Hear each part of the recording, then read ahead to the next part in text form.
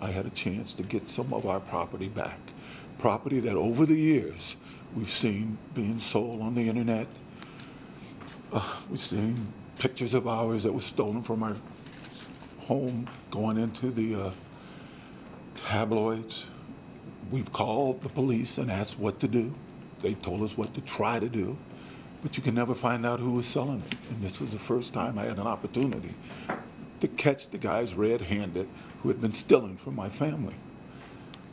I knew these guys. I did think Mike Gilbert was would be there, and I know, as they told me, the two guys there, that he was the one who did it.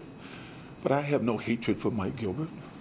In the past, as we know, you heard on the tape, Mike Gilbert tried to set me up in a porn video, tricked me into a room with hidden cameras, and they still wrote in the newspaper and the tabloids, they still had cover stories that OJ did it, even though there was no porn video. The only person I asked, I requested to help me here, was Mr. Stewart. I did request him. I needed his car.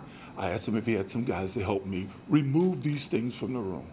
I didn't ask anybody to do anything but to stand behind me, allow me to yell at these guys, and then help me remove those things. And if they wouldn't let me remove them, we would call the cops on them because I felt that they were they were wrong. They had turnover orders and they hadn't turned over some of these things that were both um, garnishable and things that were not garnishable. I didn't want them to yell at them. I think Mr. McClinton in the previous trial said that I didn't ask them to yell at anybody. Unfortunately, they did, and I believe it was my fault because I brought them there. And I knew the character of a couple of the guys that were there, and it was my fault that they were there.